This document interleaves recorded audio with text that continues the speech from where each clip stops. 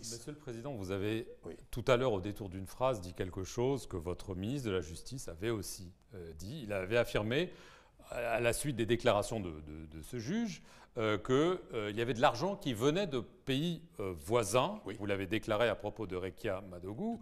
On va appeler un chat un chat. Euh, elle est connue comme euh, conseillère du président du Togo, par exemple.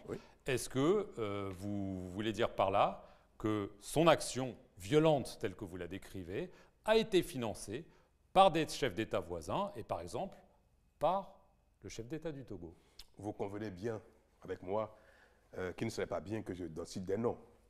Mais vous avez parlé de chef d'État tout à l'heure. Cela suffit. Euh, des, des hommes d'affaires, des autorités, des chefs d'État, de pays voisins. Et je sais de quoi je parle, mais il n'est pas. Il de non, mon attendez, rôle. attendez, parce que c'est quand même très, très, très important. Vous dites que des chefs d'État de pays voisins ont participé à une opération de déstabilisation du Bénin. Ça, c'est vous qui le dites pas, je n'ai pas dit ça. Bah, c'est- vous dites. euh, Est-ce que, est que quand des autorités étrangères, même des chefs d'État, appuient un candidat, financent même euh, éventuellement même un candidat, est-ce que leur implication va jusqu'à aux actes criminels que ceux-ci pour- pourraient commettre?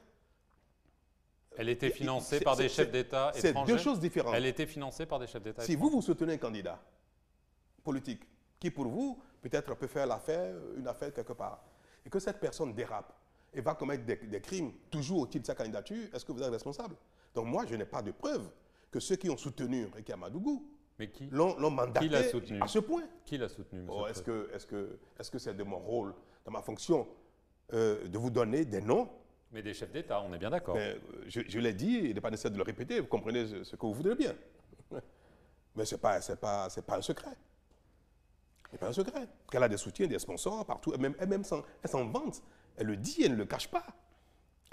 Alors vous dites, Et c'est, c'est d'ailleurs euh, à ce motif qu'elle est venue évincer euh, tous les, les responsables du parti de- des démocrates pour prendre la candidature euh, à la présidentielle en, en lieu et place de ceux-ci parce qu'elle aurait des relations, elle a de l'argent, elle n'a jamais été économique, opératrice économique.